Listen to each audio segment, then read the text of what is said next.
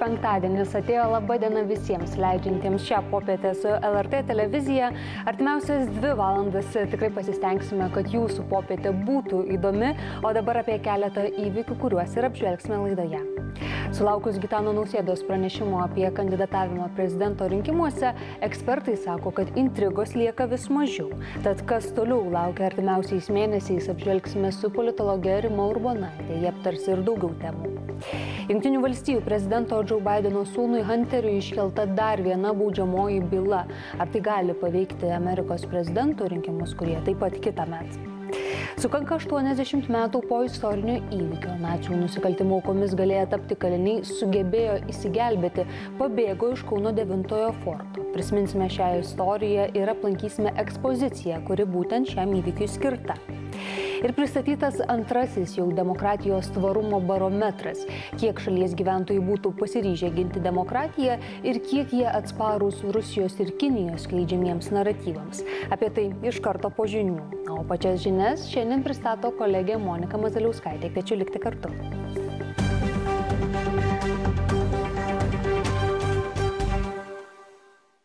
Labadiena, jūsų dėmesio žinios.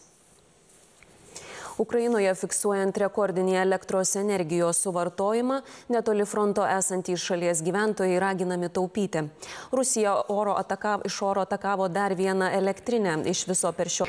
Jūsų ekranuose laba diena Lietuva ir pirmiausia čia apie pristatytą antrą jau demokratijos tvarumo barometrą, kuriuo matuojama, ar gyventojai būtų pasirengę ginti demokratiją šalyje nuo įvairiausių galimų suvaržymų, koks jų pasitenkinimas pačiu demokratijos veikimu, kiek pasitikima valstybė valstybės institucijomis. Dar ir daugiau dalykų tikrai yra įvertinama, juos dalį bent jau jų apžvelgsime dabar su Vilniaus universiteto tarptautinių santykių ir politikos mokslo instituto docentu Mažvidu Jastramskiu. Labadiena. Labadiena.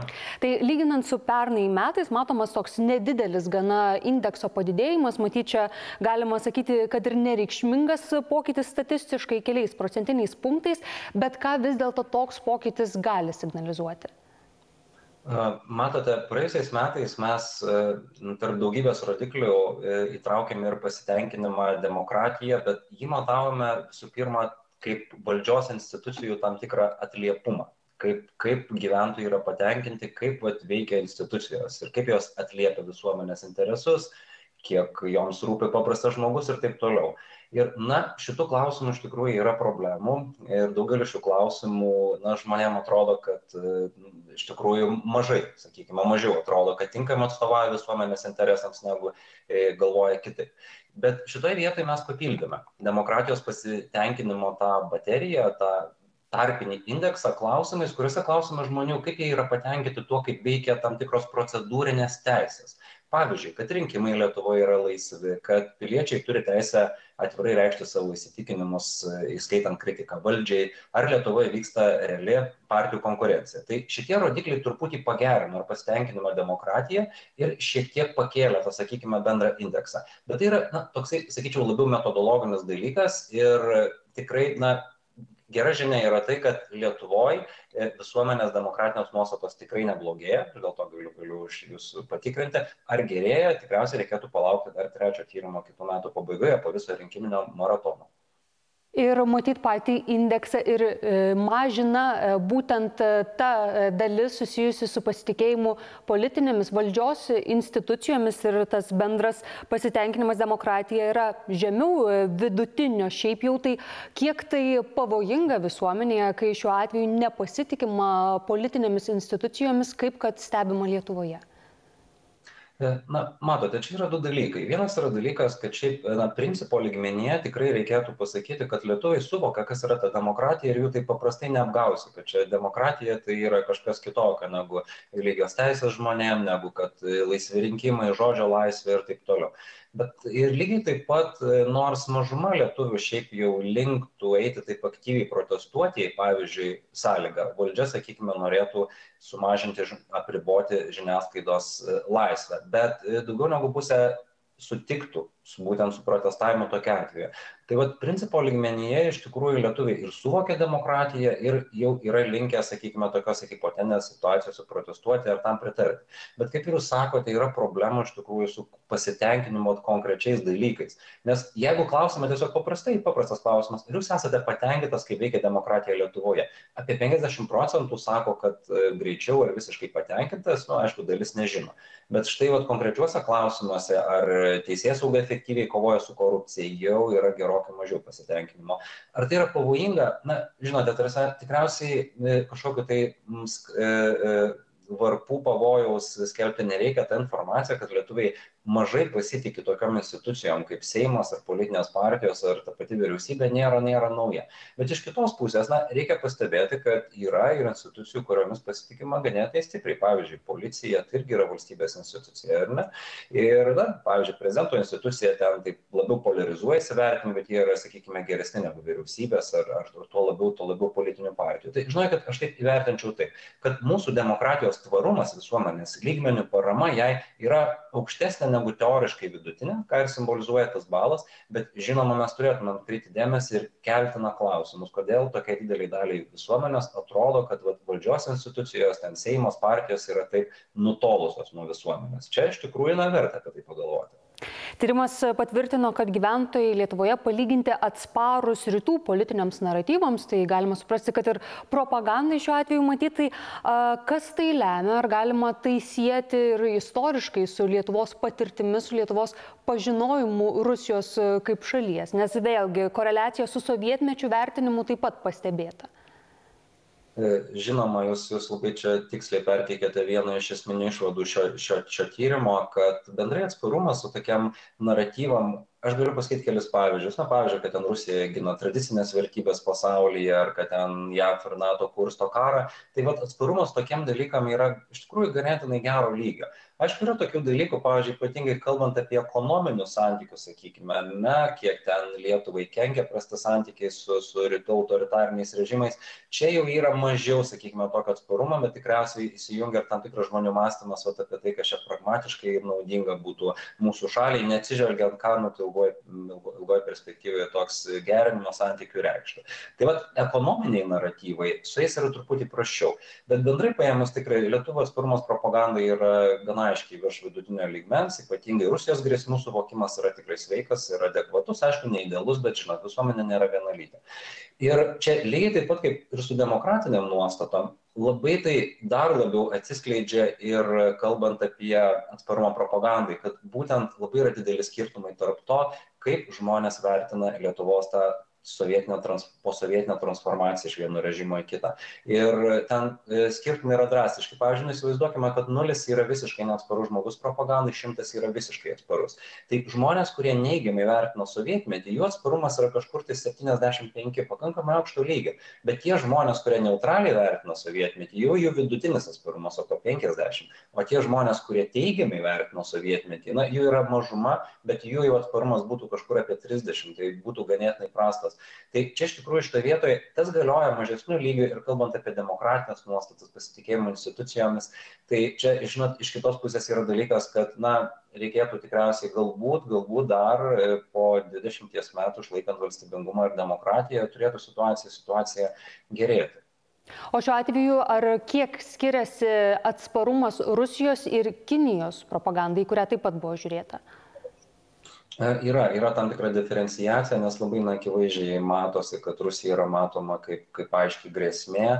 Ir vat, kalbant apie Kiniją, šitoj vietoje na, yra tokių dalykų, nors iš kitos pusės per metus nežinau, ar tai yra atsitiktinis dalykas, bet yra sumažėję žmonių, kurie tiesiog atskirai procentiškai imant atskirą klausimą kurie mano kad lietuva yra kalta vat viena kalta dėl pablogėjusių santykių su kinija. Nors jų yra iš tikrųjų vis dar pakankamai daug ir daugiau negu manančių kitaip nors ten vėlgi skirtumai nėra drastiški nes žinot ties kiekvienu klausimu yra visą laiką didesnė ar mažesnė dalis žmonių kurie arba neturi nuomonės arba sako nei taip nei ar ar ne. Tai nu iš kitos pusės tai yra normalu dėl to kad ne ne visais klausimais žmonės turi labai aiškiai išreikštą nuomonę. Tai nereiškia kad jie yra ten atsparūs labai ir neatsparūs kažkam tai.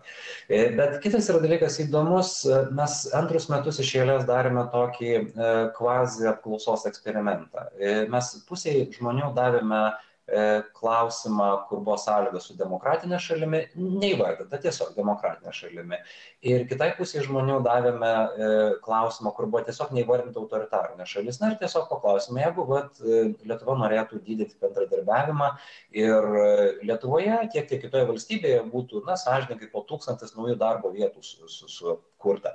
Tai skirtumai, e, žiūrint į hipotetinę situaciją, yra didžiuliai. Ta prasme, virš 80 procentų lietuvių yra linkę bendradarbiauti su demokratinė valstybė, o štai jau jeigu tiesiog va tą vieną žodį autoritarinio pakeičiame, tai labai labai krenta pritarimas ir vos 20 keli procentai žmonių būtų linkę pritarti e, bendradarbiavimui su autoritarinė valstybė. Tai čia va, atsiranda dar tokie klausimai, ta prasme, kad e, kaip mes suvokiame, ar ne Makinėje, galbūt dalis žmonių na, iki galo ne, būt nežino, gal mažiau ir domisi, kas yra normalu, kad na, Kinė yra iš tikrųjų visiškai konsoliduotas autoritarinis režimas, turintis tam, tam tikrą, sakykime, interesą eksportuoti tokius dalykus ir, ir, ir, ir į užsienį. Nes kai kalbame tiesiog apie hipotetinę situaciją, demokratija versus autoritarizmas, aš turiu tikrai labai aiškiai akcentuoti, kad lietuviai pasirenka būti aiškiai prie demokratinio pasaulio.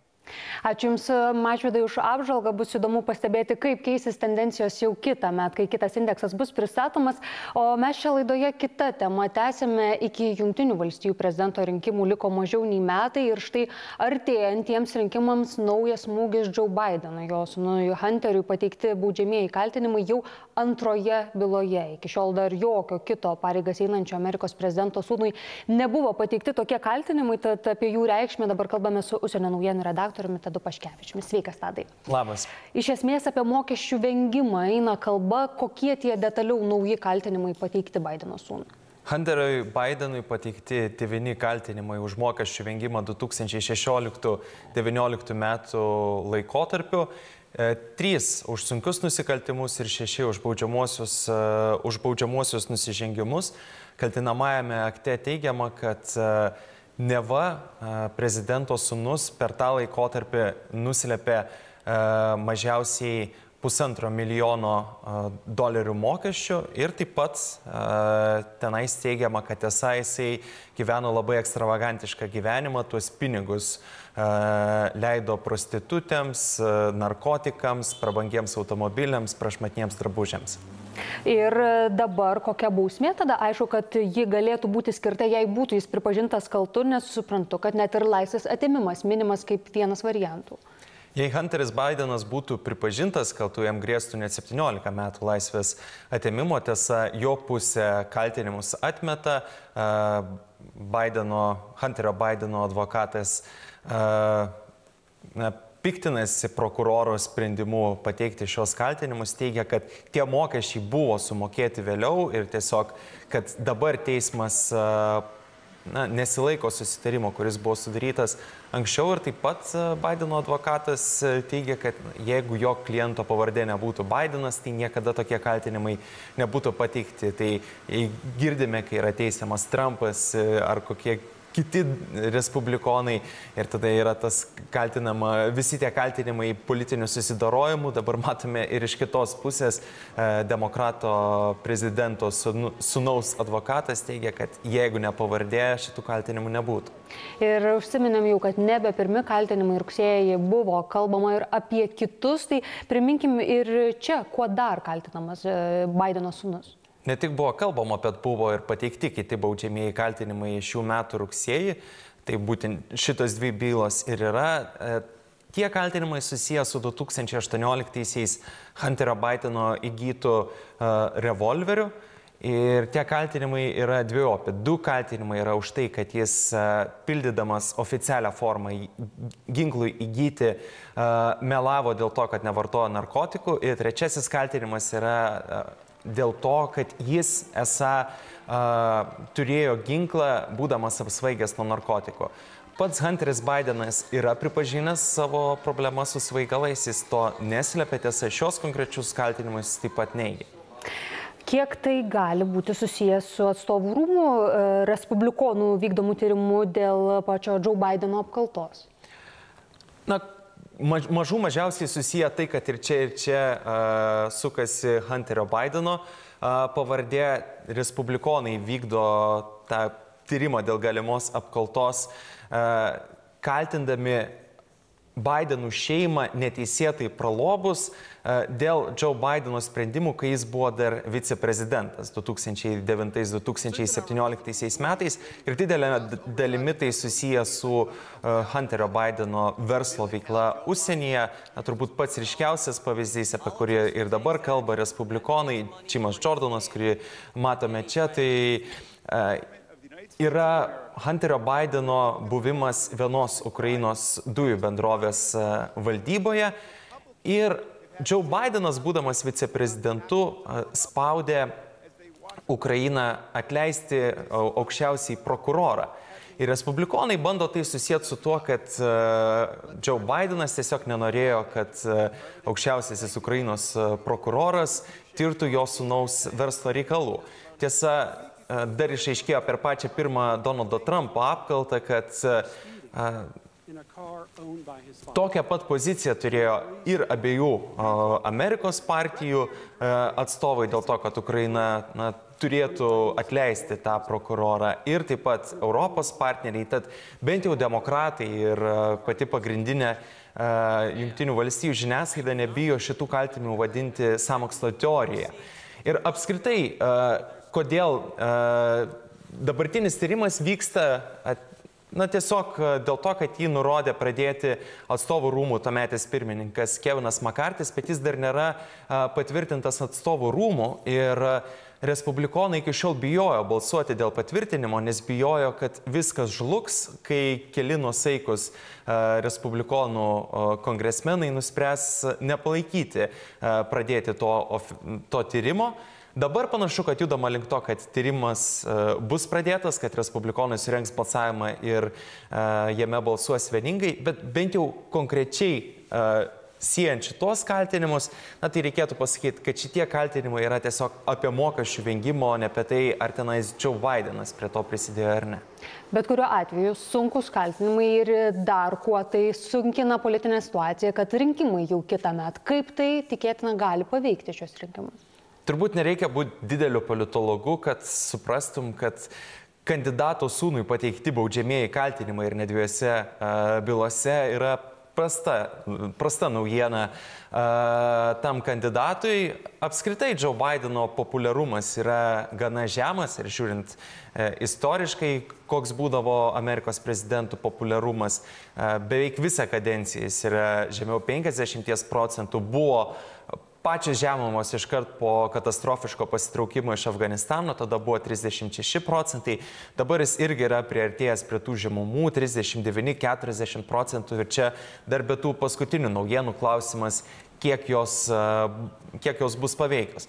Kalbant apie apklausas dėl to, koks galėtų būti kitų metų prezidento rinkimų rezultatas, tenais, na, irgi reikia suprasti, kad vien tas populiarumas Bideno nebūtinai tiesiogiai lemia tai, kas balsuos už Bideną.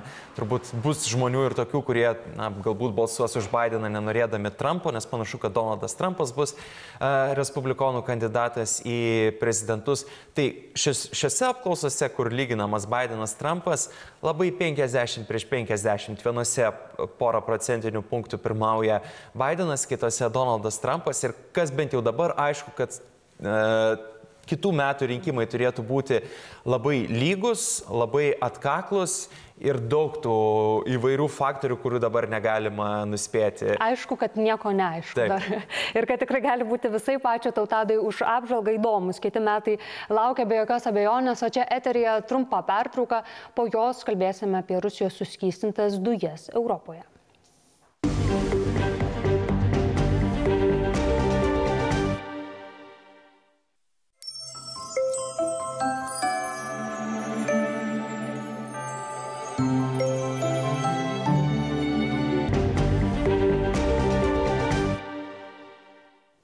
Suskystintos gamtinės dujos iš Rusijos. Kita mūsų tema, bet ne tik tai, kad jos apskritai egzistuoja, bet kad jo štai ir toliau Europoje, nepaisant to, kad ES įvedė sankcijas ir ribojimus importuojamai naftai ir dujų. Su mumis LRT žurnalistas Mindaugas Užša. Sveikas, Mindaugai. Labą.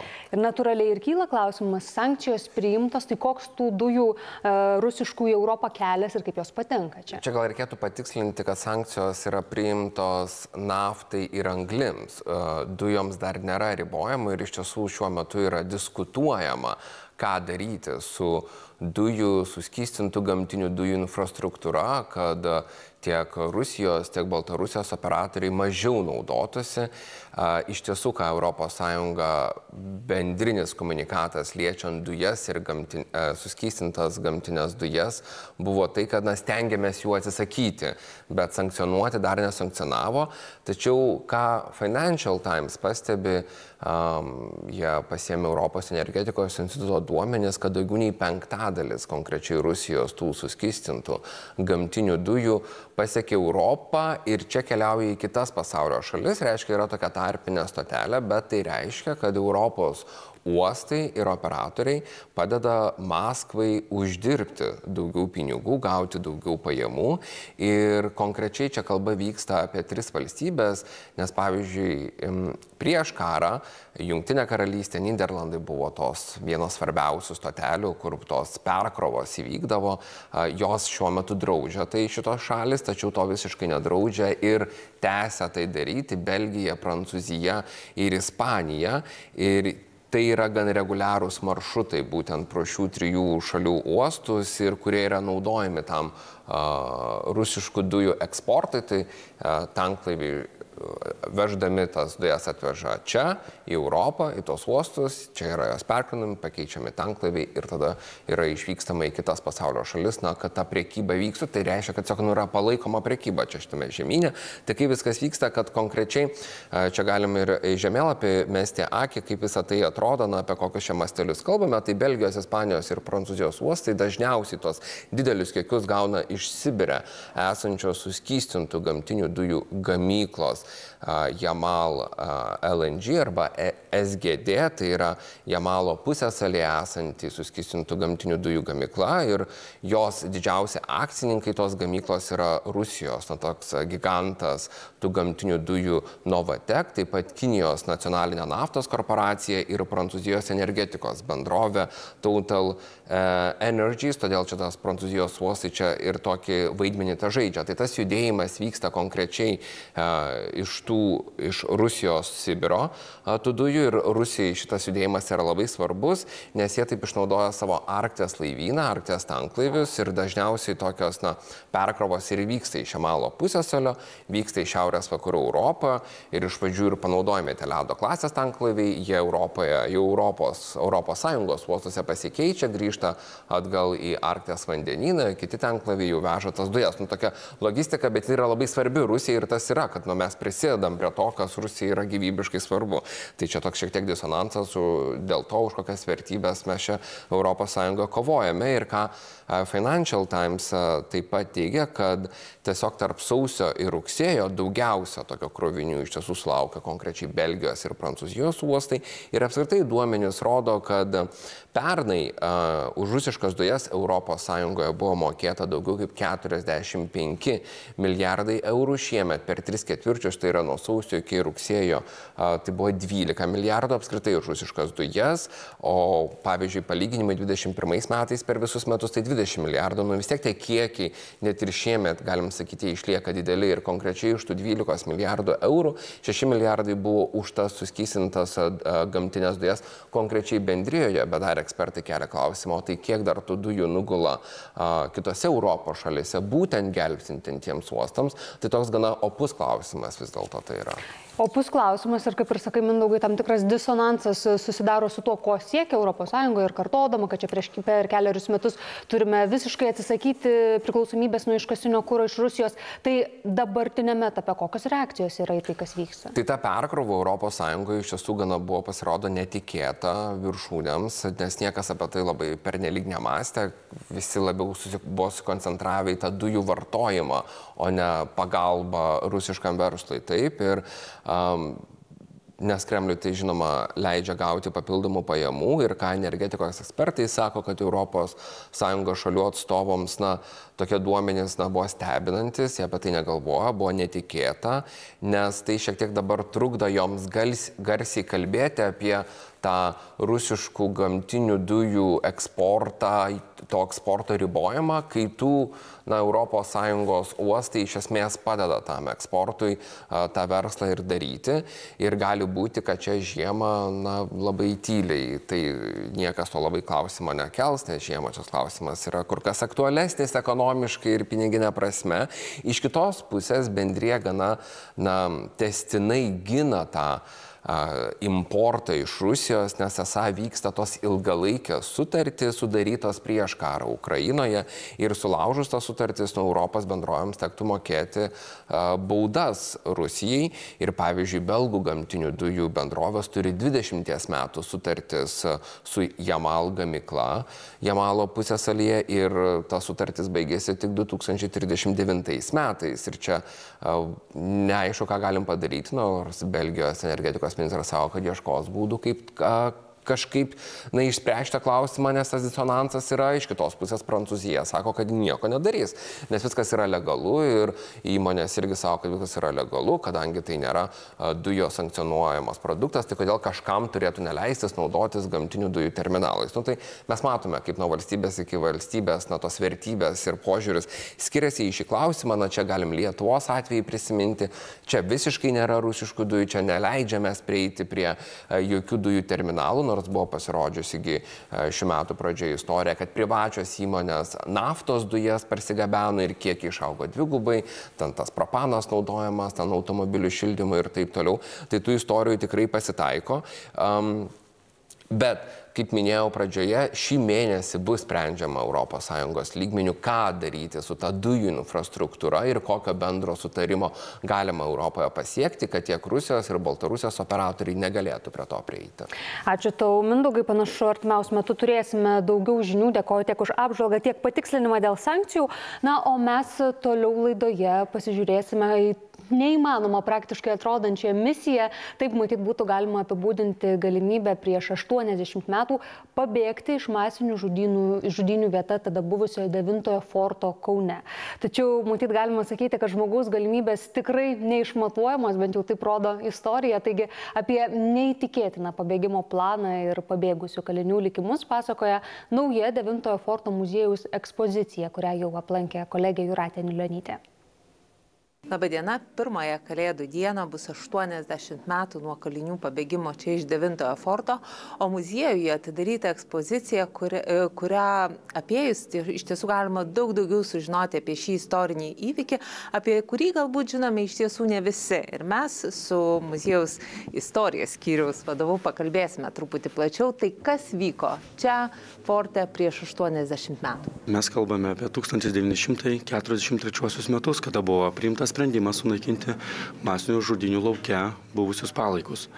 Ir buvo sudaryta tam tikra komanda, kuri turėjo deginti kūnus laužuose.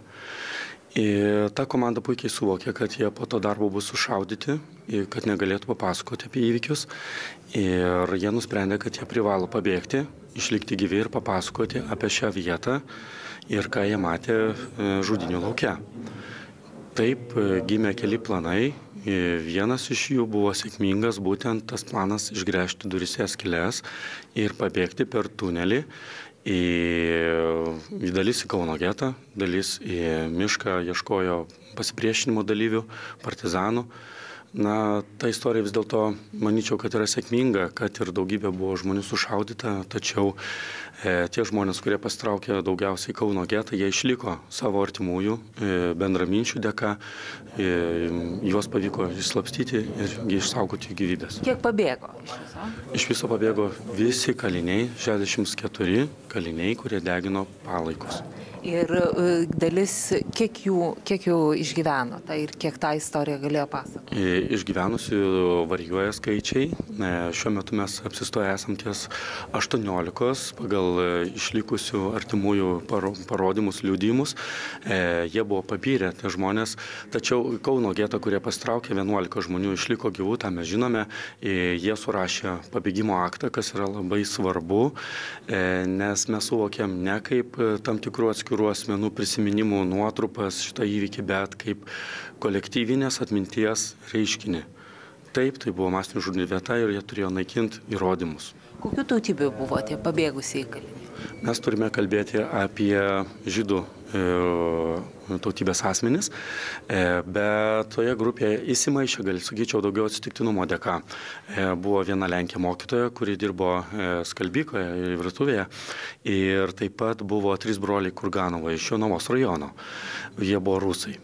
Tai jie ruošia malkas, bet aš galėčiau pasakyti, kad kalbėdami apie šitą įvykį mes turėtume matyti holokausto plotmę ir atskleisti visą šitą įvykį kaip pasipriešinimą nacistiniai okupacijai ir tam brutalumui ir bandyti atskleisti visuomeniai.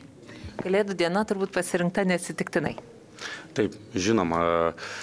E, tiesą pasakius, jie išgrėžė kelias durise kiek anksčiau, tačiau iškrito pirmasis sniegas ir pabūgo, kad demaskuos pėtsakus sniegas ir buvo nuspręsta šiek tiek luktelti kelias dienas ir juo labiau per kalėdas jie gavo ir paskatinamųjų tam tikrų dovanėlių, e, kurios na, buvo apsimestinai liktai vartojamos tam, kad sumažinti sargybos budrumą. Pati sargyba taip pat buvo praradusi budrumą ir tikrai negalvoja, kad kas gali tą stebuklų naktį įvykti, apart šito stebuklo, kuris ir įvyko. Ir mes turime ant lubų puikią citatą, kurią paliko mums Aleksas Faitlisonas, kad jis sako, kad jis nežino, ar iš tikrųjų Kristus gimė per kalėdas, Bet mes, pabėgimo dalyviai, lavonų degintojai, kaip atsivardina, taip. Jie mane, kad tai buvo antrasis jų gimtadienis. Ir ta tradicija susitikti per Kalėdas ir paminėti pabėgimą ilga, labai ilgai ir gyvavo, kol na, visi pabėgimo dalyviai buvo gyvi. Šiuo metu jų artimieji tą tradiciją tęsia beje. Ačiū Jums, o mes dar ekspozicijos architektu Džiugu Karaliumi pakalbėsim, Džiugai, kvapas įėjus į patalpą jaučiamas, nuo ko jisai yra ir ką jisai duoda. Sveiki, kvapas yra degintos medienos.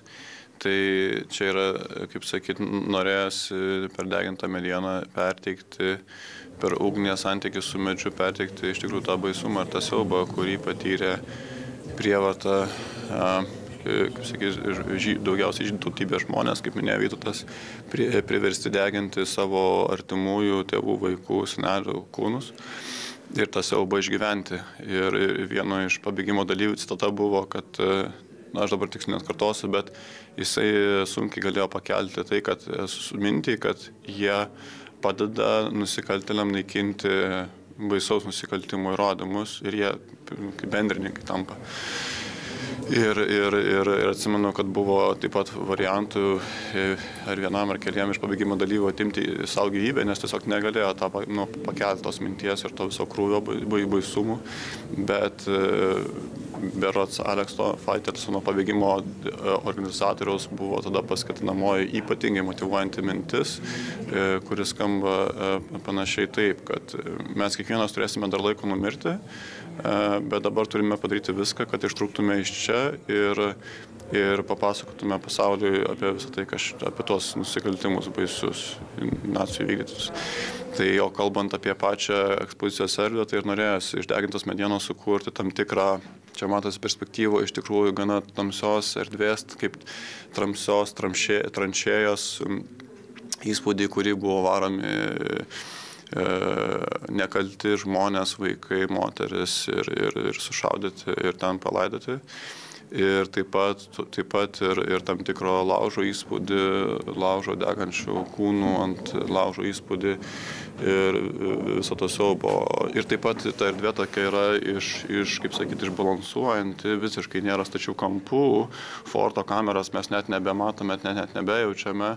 Ir tas išbalansavimas ir bandymas poetinę metaforom perteikti, ką jautė tuo metu na, žmogus, būtent tas kalinys, matydamas tą siaubą ir, ir nu, net nes, nu, čia negaliu sakyti, vadinama suvok, nes nesuvokiama, bet tiesiog kažkaip tame, na, veikdamas. Ačiū Jums, ačiū. Geriausiai viską sužinoti, užsukti čia į muziejų ir pasivaikščioti po jo erdvės. O mes grįžtame į studiją Vilniuje. Ačiū Juratė, o čia studijoje trumpa pertrauka visai netrukus 15 val. žinios, po kurių iš karto lauks politologės Rimos Urbonaitės svarbiausių savaitės įvykių apžvalga. Kviečiu pasilikti kartu. Thank you.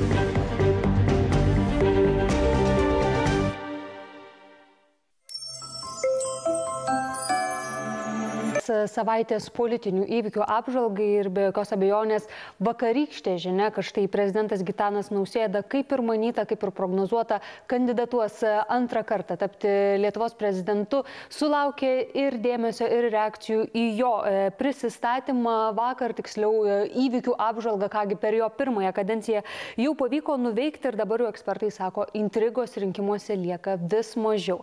Tai viena iš temų, kurią panagrinėsime ir dabar su Mykolo Romerio universiteto politologė Rima Urbanaitė. Labadiena. Labadiena. Tai dar ne visi kandidatai aiškus, laukiama, ko socialdemokratai imsis, bet vis dėlto nausėdos vakarykštis ir prisistatymas jau kaip antros kadencijos siekiančio kandidato, apie pusvalandį truko jo kalba, tektoniniai lūžiai buvo minimi, kurie anot jo pasiekti. Ar paaiškėjo iš jo vakarykščio pasisakymo, vakarykščio atsakymo į klausimus, kokia bus rinkiminė kampanija jo?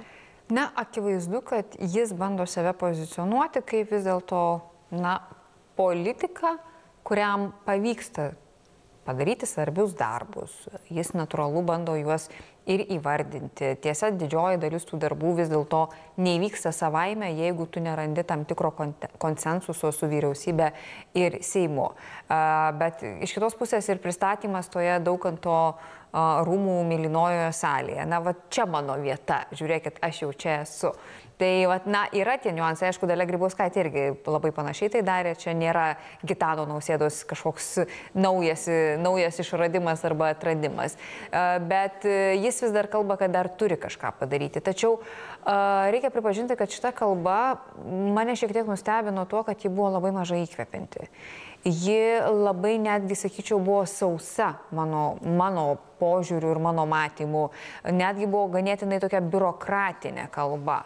Ir tas kiek nustebino, nes prezidento rinkimai jie asmenybiniai. Tu turi tą pasitikėjimą sukurti, tą pritraukti ir emociškai rinkėją. Tai man šį kartą, na, prezidentas pasirodė toks labai futliarinis. Jo pranešimas priminė šitas netgi galbūt met, metinę kalbą Seime daroma, arba tiesiog metinę ataskaitą. Tiesa, ten su metinėm ataskaitom tai vis dar dalies laukiam, ten nesulaukiam, tai kažkaip, na, geriau jau tada tai sudėti į metinės ataskaitas, ne visų, kurias ne visas randame prezidentūros puslapyje, o turėtų būti, nei kad į šitokią kalbą tai sudėti. Bet akivaizdu, kad prezidentas bando įtikinti visuomenę, kad jis vertas antros kadencijos, vertas, kad jam dar kartą būtų suteiktas tas pasitikėjimas ir kad jis galėtų tęsti tai, ką pradėjo. Kitas dalykas, aišku, jis turbūt kaip niekada šį kartą akcentavo savivaldą, regionus, kas rodo ir tam tikrą intenciją į kokį rinkėją bus orientuojamasi.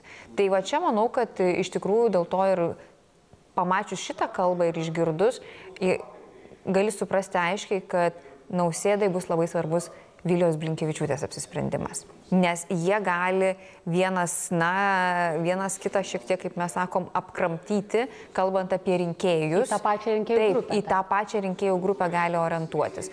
Aišku, matome jau nemažai kritikos ir vyriausybei ir šitas čia, aišku, jau yra kaip na, vyriausybės iškeltai kandidatai į prezidentus Ingridai Šimonytei adresuojama irgi suprantama. Taip kad, na, kampanija, aišku, bus įdomi. Aš tik tai vis tiek laikausi pozicijos, kad ji bus įdomi tuo, kad mes tikrai dar nežinom, kas pateks į antrą turą be nausėdos, aš vis dėlto prognozuočiau, kad nausėdos šansai tikrai yra labai labai dideli patekti į antrą turą. A, kas bus su juo, va čia yra klausimas. Kad bus antras turas, ne, aš vis dėlto drįsiu tikrai gana drąsiai spėti. Aišku, politikoje irgi įvyksta visko, bet šiaip pagal dabartinę situaciją, tai manau, kad tikrai antrasis turas bus. Ir nausėdai tai tikrai nebus jau visiškai lengvas pasivaikščiojimas, dėl to, kad jam 19 metais buvo gerokai lengviau. Jis atėjo kaip ne politikas, kaip ne iš politikos politinės sistemos žmogus, dabar tokį privalumą turi Ignas Vėgėlė. O Nausėda jau vis dėlto turi tą slegiančią kažkiek pečius atsakomybę už tai, kas galbūt valstybėje nėra labai gerai. Tai va tą, aišku, norisi kartais nusimesti prezidentams, čia ne vien Nausėdos irgi tokia savybė yra, bet tikrai jau jam, na, nemanau, kad tai jau bus visiškai lengvas pasivaikščiojimas, kaip galbūt kažkam gali atrodyti. Kova bus, bet kokiu atveju. Ir mėnesį iki tos kovos taip pat matyt bus intensyvus. Kita tema, Rima, kurią aptarkim, paaiškėjo šią savaitę, kad du Rusijos milijardieriaus, Romano Abramovičiaus vaikai, turi Lietuvos pilietybę ir tai galėjo padėti jų tėvui apeiti tarptautinės sankcijas. Šita situacija, ką ji parodė ir apie visą tvarką ir užkardimą tokiu atveju? Šiaip iš tikrųjų mes matome, kad mes turime labai daug spragų ir žiūrėkite, mes čia taip rūpinamės arba kai kurie sako, kad netgi tikrai nereikėtų čia tų pilietybių išdauginti, pavadinkime taip. E, bet čia realiai mes suprantame, kad žmonės, kurie su Lietuva, na, faktiškai neturi nieko bendro, jie visiškai laisvai gali gauti lietuviškus pasus. Ir kai tokie žmonės netgi kreipiasi dėl tų pasų, akivaizdu, kad mūsų sistemoje jokios, taip sakant, lemputė šalia jų pavardžių neįsižiebė.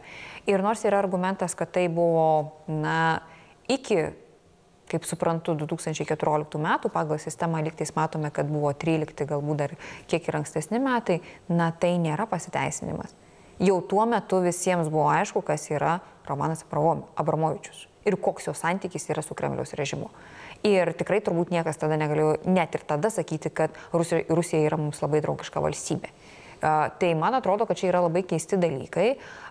Ir dar yra keiščiau, kad aš priminsiu, jog mes visai neseniai keitėme įstatymus dėl drobesko.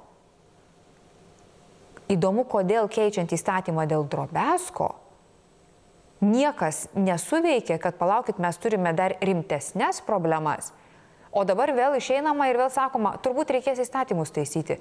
Tai kiek mes šitaip taisysime įstatymus, gal pirmiausia reikia susižiūrėti, o kas gali gauti tas pilietybės, o paskui žiūrėti jau kam atiminėti. Ne, jeigu nebus suteikta, tai nereikės ir atiminėti.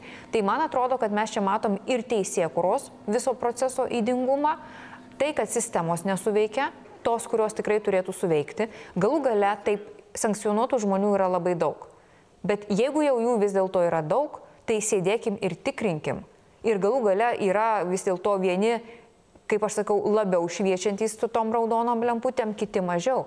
Kur daugiau yra gali šviesti kažkas, jeigu ne Romanas Abramovičius ir atitinkamai tada jo vaikai. Tai man atrodo, kad mes labai čia daug kalbam, kaip mes kovojam su pačiom įvairiausiam grėsmėm, bet mes tiesiog kartais nematom, kas mums yra po, po nosim Ir dar plus dar turim problemų su teisėkaura. Aišku, galbūt kažkas sėdėjo ausis suglaudęs ir galvojo, kad tik tai neišaiškėtų. Da, bet realybė dažniausiai yra tokia, kad išaiškėja tokie dalykai.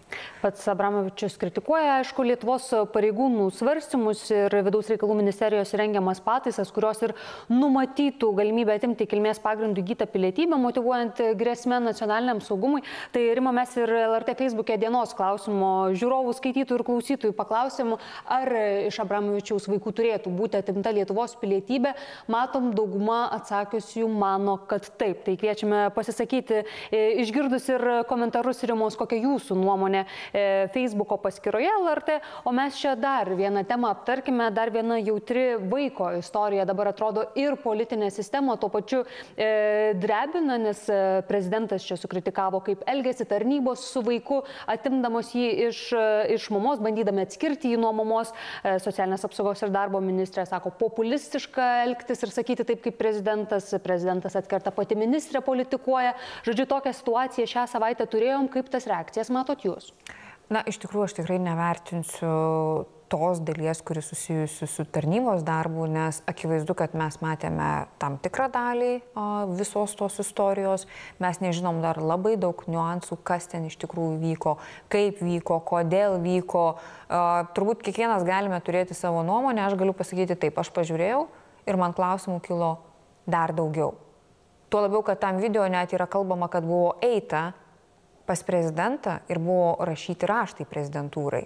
Tai aš čia tik tai skėšiu rankomis, įdomu, ką prezidentūra į tai atsakytų, nes čia jau akivaizdu, kad buvo kreipimaisi į politiką, turinti, na, aukščiausią čia pas mus dabar statusą. Bet apie tai prezidentūra nieko neužsiminė.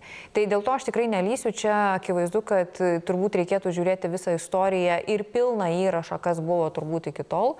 Bet e, politikai be jokios abejonės labai dažnai sunkiai susivaldo nelysdami į tokias temas.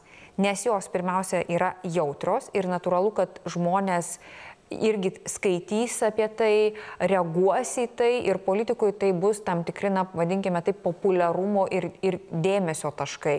Bet iš kitos pusės mes galim sukelti dar daugiau žalos, nei kad naudos. Net pavyzdžiui, jeigu pažiūrėtume, ar ne, vaiko tėtis pasakė, tai jeigu jau norite tokios reklamos, eikite į kačiukų šuniukų prieglaudas ir ten darykite tą reklamą, o ne iš mano šeimos. Šiaip neatsakyčiau, tikrai labai kategoriškas pareiškimas, bet tame yra racijos.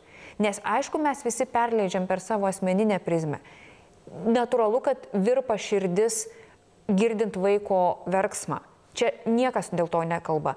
Bet žiūrėkit, mes rizikuojam kaip tik sukurti tokias istorijas, kurios jau įgaus ir dar daugiau politizavimo, nei kad mes galėtume kažką išspręsti.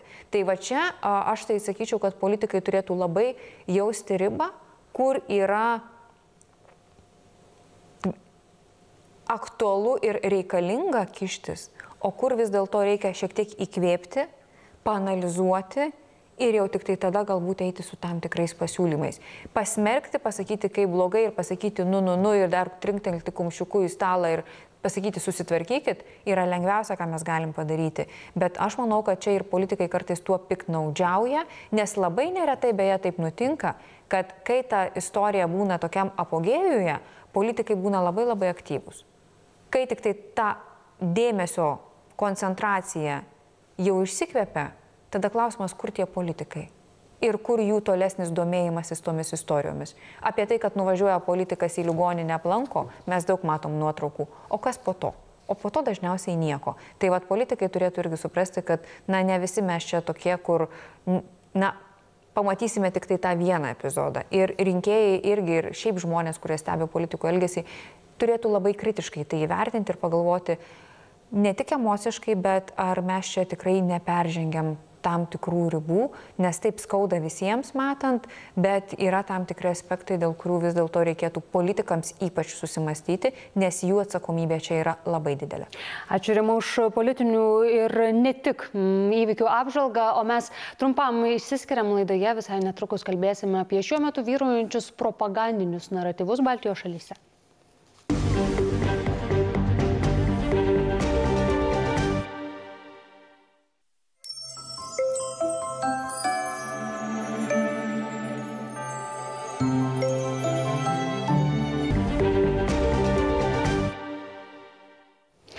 Jau beveik dviejus metus Rusijos tęsiamas plataus masto karas Ukrainoje aštrina ir propagandos naratyvus, kurie iš Rusijos sklinda į įvairiausias šalis, bet ypač žinoma ir į Baltijos šalis. Tad mes įsamiau apie vyraujančias tendencijas kalbame su Vilniaus universiteto ekonomikos ir verslo administravimo fakulteto mokslininku Margirdu Morkūnu. Labadiena.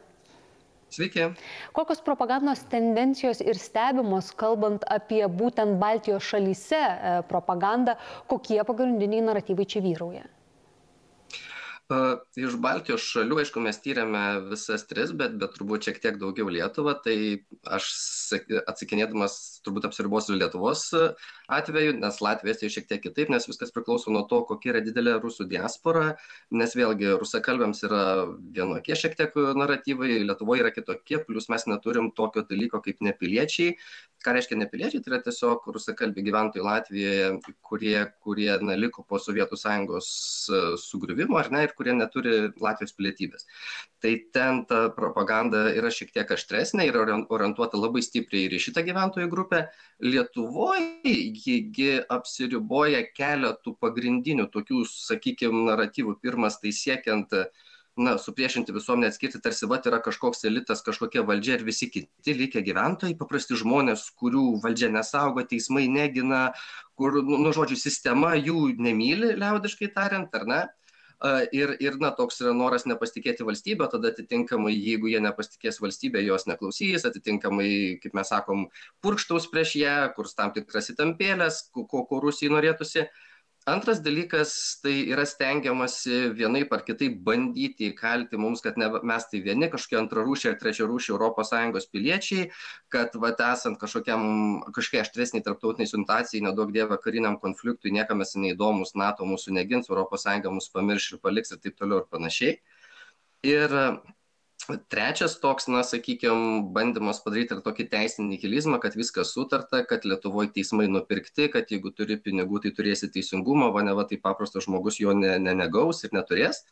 Ir visa kita, tas visa kita, kaip mes sakom, tokie spontaniški atsitiktiniai bandymai išmeišti, meluoti, neikti, na, mainstreaminę, sakykime, tą, tą, tą, nu, normalią žiniasklaidą, normalius faktus ir jie labai, būtent, ką jūs paminėjote, jie labai pradėjo reikštis po 24 vasario 22 metų, ar ne, po Rusijos invazijos į Ukrainą, kai buvo bandoma visais būdais tiesiog pasėti nepasitikėjimą, paniką, bandant įrodyti, kad ne viskas yra taip, kaip sakoma, kad žinokit, kažkokios konspiracijos teorijos yra, kad vad jums kažko nesako arba neparodo. Tai turbūt pagrindiniai būtų tokie, ką pastebėjau.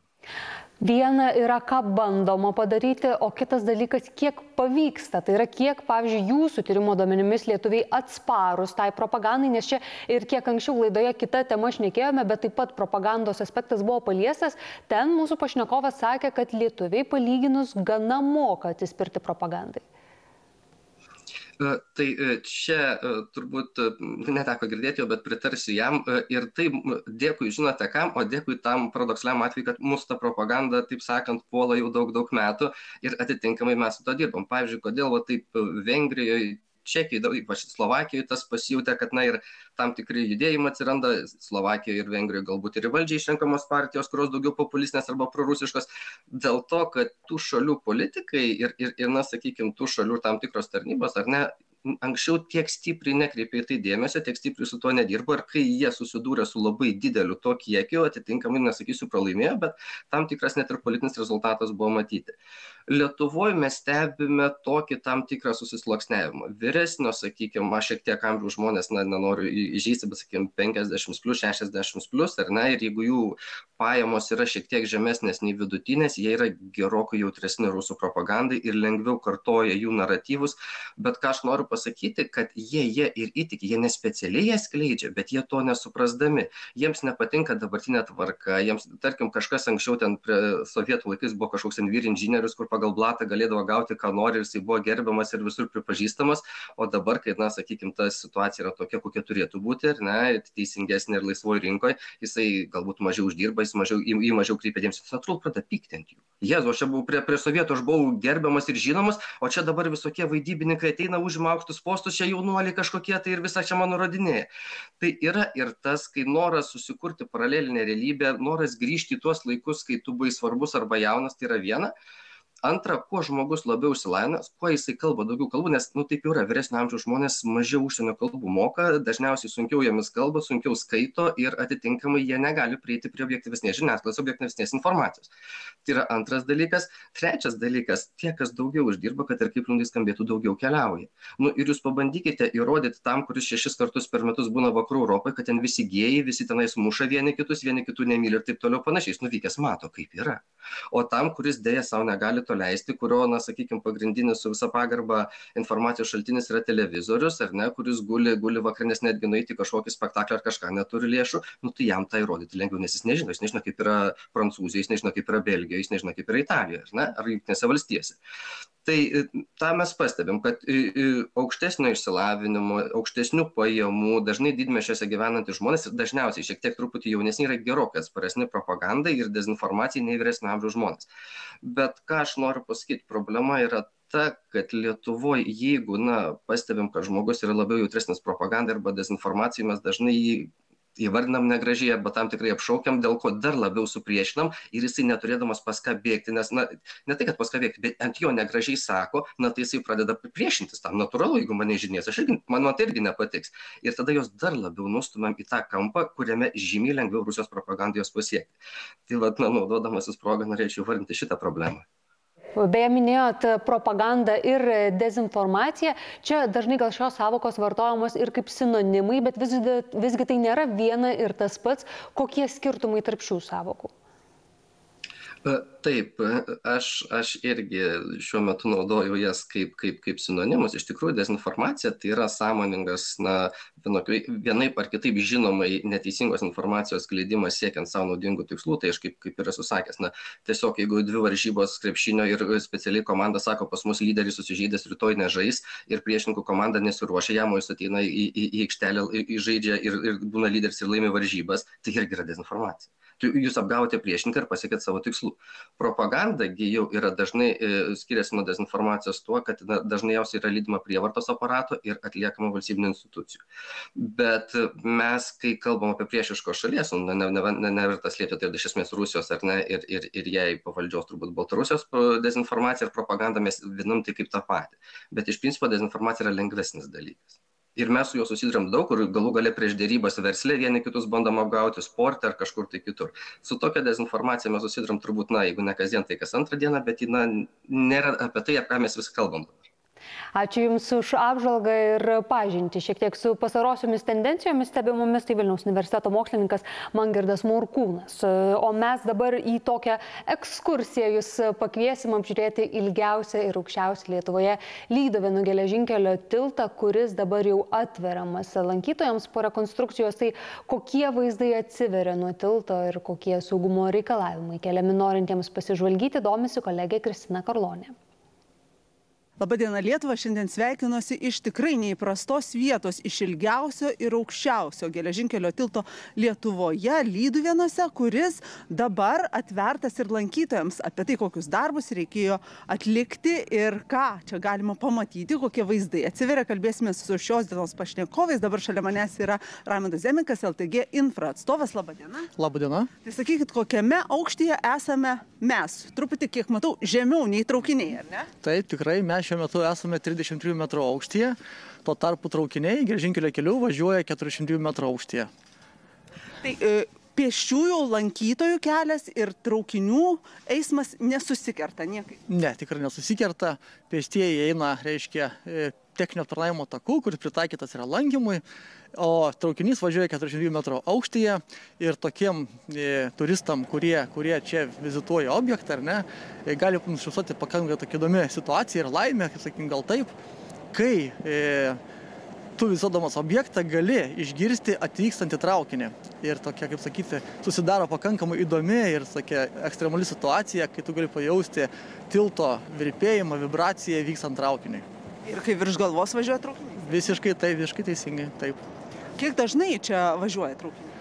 Traukiniai per dieną važiuoja nuo 5 iki 10 kartų. Ar buvo tam tikrų iššūkių įrengiant e, čia taką lankytojams? Tikrai taip, tikrai buvo iššūkių. Vieni iš tokių iššūkių, gal sakykime, taip, buvo rastos minos, e, karinės ar ne, po to, po to pasaulinio, pasaulinio karo. Tai netgi tris kartus teko kviesti specialias tarnybas mūsų rangovams, kurie vykdė darbus. O kur tos minos buvo rastos? Jos buvo rastos, viena vieta yra, tai reiškia, prie, prie, prie bunkerio, ar ne, o kita vieta e, tuo keliu, reiškia, kur e, lankytojai ateina nuo atvažiavę nuo ištelės ir keliauja link tilto, kad apžvalgyti visą mūsų teritoriją gražią. Veltui turbūt jos ir buvo, ar ne nuo karo laikų likusios. Šis objektas yra strateginės reikšmės objektas. Tikrai taip, čia yra labai svarbus strateginės reikšmės objektas Lietuvos mastu.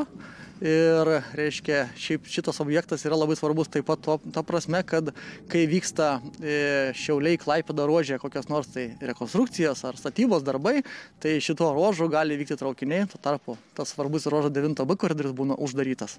Kodėl kilo mintis? Ilgą laiką tiltas stovi, bet tik dabar čia gali praeiti lankytojai. Mhm. Valstybinė savo teritorijų tarnyba inicijavo, reiškia, šitą projektą, ar ne, pasiūlė tuos geležinkeliams. E, bendradarbiavimo sutartį ir geležinkeliai, suprasdami svarbą šito objekto, reiškia lankymų svarbą ar nestrateginį reikšmės objekto svarbą, vis nusprendė prie to projekto prisidėti kartu ir įgyvendinti, reiškia, bendrą, bendrą projektą ir, ir, ir turėti, kaip sakyti, at, atverti, atverti lankytojams ypatingos reikšmės objektą ir, kaip čia, supažindinti su Dubysos regioninė parko kraštovaizdžiu. Lankytojams, kurie nuspręs išbandyti pasivaikščiojimą Lydvienų geležinkelio tiltu, reikia nepamiršti apsaugos priemonių ir atsargumo. Štai aš esu dabar ir su lėmenė, ir su šalmu, o daugiau apie taisyklės, kurios bus taikomas norintiems čia ateiti, paprašysiu papasakoti Vyganto Kilčiausko Žemaitijos saugomų teritorijų direkcijos direktorius pavaduotojo. Labadiena. Labadiena. Tai sakykit, šalmas, liemenė yra būtina. E, taip, tai yra privaloma ir šitos dalykus e, sugalvojame ne mes patys, o tiesiog e, geležinkelių saugos taisyklės ir kiti reikalavimai tokius dalykus nustato. Taip ir liemenė, ir šalmas, o šitos daiktus ekskursijų dalyviai gaus atvykę į ekskursiją, išduosim mes ekskursijų vadovai. Kaip ekskursijos bus organizuojamos, kaip žmonėms, na, į jas užsiregistruoti turbūt reikia? E, žinoma, taip, e, kadangi tiltas yra valstybinės reikšmės objektas, griežtai saugomas, kiekvienas bet kada sugalvojęs apsilankyti neturės galimybės ir ekskursijos bus regi registruojamos iš anksto, rezervuojamos ir tai galima padaryti Paysera Tickets bilietų rezervavimo sistemoje. Na, panašiai kaip nusipirkti bilietą į kino teatrą, vienu žodžiu, taip jūs nusipirksite ir bilietą į ekskursiją tam tikrą dieną, tam tikrų laikų. Ar mokama ekskursija? E, taip, ekskursija bus mokama, tai planuojam, jau yra nustatyta, kad tai bus 10 eurų vienam asmenį, nes, žinot, e, saugos reikalavimai, žmogiškieji resursai ir visi kita kainuoja nemažus kaštus kiek žmonių vienu metu galės lankytis ir kokie, na, be to, kad jie turės būti su šalmu, su lėmene, dar tokie, na, atsargumo reikalavimai jiems keliami? E, vienu metu galės apsilankyti nedaugiau 15 žmonių, įskaitant ekskursijos vadovą. E, na, ką labiausiai reikėtų įvertinti, tai ar žmogus turi aukščio baimę, nes tiltu eiti bus galima tik į vieną pusę, nebus galima grįžti atgalios. E, taip pat pasirūpinti savo nepilnamečiais e, vaikais. E, tiltas, e, tilto takas nėra pritaikytas veži, vaikų vežimėliams, judėjimo negalę turintiems asmenims, na, o judėjimo negalę ir, ir visiems kitiems žmonėms taip pat pagalvojom, kaip jie galėtų pasigrožėti šito nuostabiu Dubysos slėniu. Jiems įrengėme vaizdo kamerą, kuri, kuri tiesiogiai transliuoja Dubysos slėnio vaizdą. Tai ir pakalbėkime apie tos vaizdus, atėję į ekskursiją. Ką galės gal ne tik pamatyti ir sužinoti? E, žinoma, pirmiausia, tai yra puikia galimybė e, savo akimis pamatyti šitą gilų, vingiuotą ir siaurą Dubysos lėnį, nes iki šiol kur mes galėdavom tik ant piliakalnio palipę ar ant aukšto šlaito, o dabar atsirado unikali galimybė ne tik iš aukštai, iš paukščio skrydžio pamatyti Dubysos lėnį, bet ir pamatyti visą šitą kultūros paminklą iš vidaus. Ne tai, kad nuo geležinkelio bėgi, bet pamatyti visą konstruktyvą iš vidaus. Tai yra e, saugoma teritorija čia? E, taip, tai yra saugoma ginkluotos apsaugos. Taip. Bet ir e, kraštovaizdžio Ai, taip, tai yra Dubysos regioninio parko Lyduvėnų kraštovaizdžio draustinis, taip įsteigtas įsaugoti, vat, kaip ir minėjau, Dubysos slėnio kraštovaizdį, tame tarp ir gamtos ir kultūros vertybės, tame tarp ir Lyduvėnų geležinkelio tiltą. Ačiū labai Jums už pokalbį, kalbėjomės apie lankytojams atveriamą Lyduvėnų geležinkelio tiltą, o pirmosios ekskursijos jau čia prasidės kitą savaitę. Ačiū Kristinai už kvietimą, gal ir pasinaudosime su Dariumi, bet pradžioje socialinius tinklus apžvelgsime. Labas, Dariu. Labą. Turime šiek tiek, atrodo, tam tikrų techninių nesklandumų, bet tikiu, ne. pavyko jau viską, ar ne, išspręsti, suradai mums įrašus įvairiausius ir dabar apžvelgsi. Ir pirmiausia, apie demokratijos indeksą Lietuvoje. Mes su Mažydu Jastramskiu politologu šiek tiek keletą tendencijų apžvelgėme, o ką socialinių tinklų vartotojai apie tai kalba? Taip, ir galime peržvelgti labai trumpai, ką rašo ir kiti apžvalgininkai. Štai pavyzdžiui, Tomas Janeliūnas, komentuodamas šį indeksą, sako, na, Taip, be įsikalbinėjimų ir be bendagybių, sako, pasakysiu aš, žinau, kad jums ne, niekas, niekas nerūpi prieš, prieš šventės, liko vos dvi savaitės, ypač penktadienio popietę, na, bet sako, čiagi vis tik yra tam tikras esminis e, svarbus požiūris, ką reikia išreikšti. Sako, tai trumpai, su demokratija, sako, pas mus viskas yra gerai, kol kas, e, kas netikit, nuoroda į demokratijos tvarumo barometrą komentaruose, a, sako, beje, jeigu jūs esate, pavyzdžiui, homoseksualus, tai tada jau viskas su demokratija gerai jums negalioja, nes niekas jūsų teisų nesiruošia Lietuvoje ginti. E, ir čia jis, aišku, remiasi štai šią skaidrę, galima būtų taip pasakyti, štai matome, kaip žmonės atsakė į klausimą, ką vis tik darytų, jeigu būtų šalyje imta riboti homoseksualių žmonių teisės. Tai štai pavyzdžiui, nedalyvautų jokiuose protestuose, arba bet palaikytų, arba palaikytų, tai yra štai šis paradinis, galima sakyti, trumpas e, atkarpos e, gabalėlis. Tai čia 58 procentai palaikytų. 58,5 procentų savo, kad nedalyvautų ir, na, iš esmės praktiškai nekreiptų dėmesio į tai, kas vyksta. Tai štai ši galbūt grupė tokia daugiausia dėmesio sulaukia socialiniuose tinkluose, beje, taip pat yra panašiai pasisakoma ir apie tautinės mažumas, na čia maždaug 45 procentai žmonių sako, kad nereaguotų, jeigu jų teisės būtų imtos riboti šalyje. Iš tai pavyzdžiui, pasi, tokius mėginimus panaikinti teisę į abortus, 39 procentai žmonių ne, nereaguotų ir niekaip jų nevertintų. Na, o į visus kitus, tokius tikrai demokrat, su demokratija labai artimai susijusius dalykus, e, tikrai reaguotų vis didesnė žmonių dalis. Kalbant apie demokratiją, galima būtų pakalbėti ir apie jos tokį, na, kiek biurokratinį galbūt veidą. Marius Vaščiaga, Lietuvos atstovas prie Europos komisijos, sako, kad štai yra daug tokių įdomių skaičių, kaip dirba Lietuvos parlamentas. Sako, Lietuvos teisės aktų prieimimo mastas yra iš tiesų įkvepintis.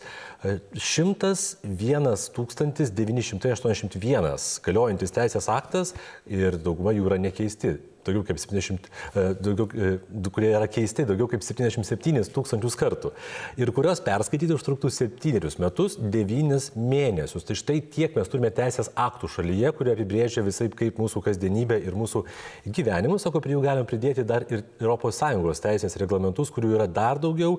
Ir sako, problema nėra nauja, kad tų teisės aktų tiek daugėja ir kad na, kartais galbūt ta biurokratinė našta taip pat auga.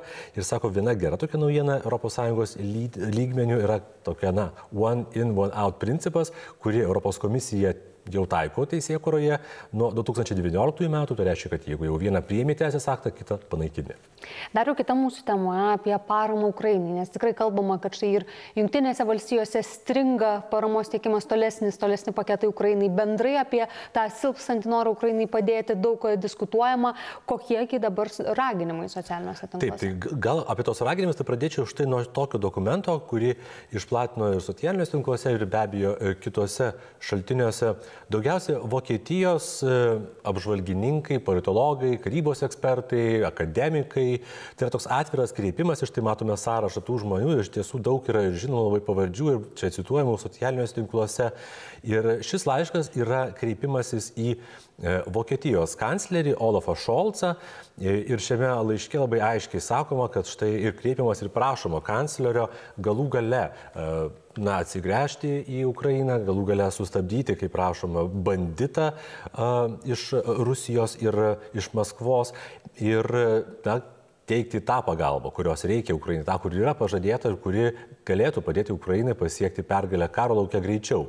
Benjaminas Talis, vienas iš tų pasirašysių šį laišką, sako, jam yra iš tiesų didelė garbė prie tokio laiško prisidėti, prie tokio raginimo ir sako, na, būtent ir reikia tos prašyti apsaugos Ukrainai ir pagalbos iš kitų ES valstybių, nes e, be jos Ukraina tikrai nebus pajėgi laimėti šio karo. Žilvinas Vitojus štai rašo taip pat įsamei apie tai, kas paskutinę parą buvo aktualu tiek Ukrainos rėmėjams, tiek ir galbūt tiem, kurie kiek mažiau stebi šią būtent fronto liniją, tai sako, kad daug kalbama dabar yra ir apie rinkimus, nes paskelbė vis tik juose dalyvausiantis naujose rinkimuose Rusijos prezidentas. Aišku, daug apie tai yra svarstymų, kaip tai paveiks fronto situaciją Ukrainoje, kiek iš tiesų dabar tuo laikotarpiu iki rinkimų, iki kovo bus mėginama, na, karštlygiškai ieškoti kažkokių bandymų parodyti savo pergalę, kažkokius pasiekimus Ukrainos zonoje ir kiek tai gali būti susiję su papildomais pavojais Ukrainai, apie galimus pavojus artimiausiu metu kalbėjo štai ir Estijos premjerė su Ukrainos prezidentu Volodimiru Zelenskiu. E, Volodimiras Zelenskis pats šiame kreipimąsi išreiškė būtent savo tokį nuogastavimą, kad artėjant žiemai tikrai nebejotinai jis mano, jog bus vėl smūgiuojama į šalies svarbę kritinę infrastruktūrą, todėl labai svarbu yra remti Ukrainą konkrečiai oro gynybos sistemomis ir padėti uždengti Ukrainai dangų ir tokiu būdu apsaugoti ukrainiečius nuo šalčio galimo ir nuo galimos e, tamsos šventinės šventiniu laikotarpiu, apskritai žiemos laikotarpiu. Bernard Hotisas taip pat rašo šiomis temomis ir sako, jog štai pavyzdžiui, sako, mūsų sąjungininkai aplink Baltijos jūrą įsidėstę niekada nebuvo sudvėjoję Ukrainos siekiais, niekada nebuvo sudvėjoję, kad reikia teikti Ukrainai pagalbą ir apskritai pakankamai aiškiai laikėsi krypties, kad Rusijos agresija ir veiksmai kelia pavojų bendryjei ir savo, kad reikėtų imti tam tikrą prasme pavyzdį ir nedvėjoti. Čia aišku yra ir daugybė tokių na, nuorodų, galima sakyti, ir Junktinių valstybių pozicija ir ten kol kas sunkiai judanti paramos Ukrainai projektą. E, ir iš tiesų, štai pavyzdžiui, dar Haudžesas prideda tai, kad Ukraina yra pajėgi ir kontratakuoti, ir parodyti tikrai savo galę, ir tą padarė ne vieną kartą, ir viskas, ko reikia, tai tiesiog geros ginkluotės, sako, štai viso labo kokių, pavyzdžiui, trijų e, tolimojo šaudimo e, sviedinių užtenka, kad būtų sutrikdytas Krymo praktiškai aprūpinimas iš e, Rusijos, tą nekartą jau buvo padariusi Ukraina, apšaudžiusi tiek tiltą, tiek kitas svarbias pozicijas, arba, pavyzdžiui, uostas Sevostopilyje. Tai sako, čia ne apie Ukrainos negebėjimą kontratakuoti, bet grinai apie tai, kiek iš tiesų ginkluotės reikalingos, ji ir laikų gauna į savo sandėlius ir gali nugabenti į fronto linijas. Ilja Panomarenko, žinomas Ukrainos apžvalgininkas, karybos temomis rašantis, taip pat rašo apie tai ir sako, kad na, niekas iš tiesų nesitikėjo ir Ukrainoje, kad štai bus tas kontratakos na, planas labai lengvai gyvendinamas, kad viskas taip ir e, vyks, kaip buvo suplanuota, nesitikėjo lygiai taip pat kaip ir pati Rusija, nesitikėjo, kad karas gali Ukrainoje taip užsitęsti ir kad jie nepavyks pasiekti greitos pergalės, kaip ji taip pat tikėjosi. Bet sako, e, iš tiesų daug yra tokio nusivylimą būtent dėl Amerikos e, susviravusios pastaruoju metu paramos, nors reiktų pasakyti, kad labai daug ir palaikymo ir džiaugsmo yra, nes vis tik tai yra didžiausia paramos teikėja Ukrainai, kaip bebūtų e, šiuo metu, bet yra ir tokių, pavyzdžiui, kurie tiesiog nedalėjasi tokiamis nuotraukomis, pavyzdžiui, Ronaldo Reigano ir sako, kad, na, būtų gerai, jeigu štai grįžtų toks amerikiečių lyderis, tikimasi, kad galbūt jisai galėtų kažkokių tai kitokių turėti ir e, sprendimų kurie pagreitintų visus procesus biurokratinius, kiek įstrigusius čia. Tai tie galbūt apie Ukrainą, bet pabaigime štai tokią gražią eglutę iš Kyvo, kurios viršūnėje jau tikrai visiems gerai atpažįstamas ukrainietiškas trišakis. Eglutė Kyve, eglutės ir kitose miestuose, šalyse žiebiamos, tikrai šventės artėja, daug tokių prieš šventinių nuotaikų.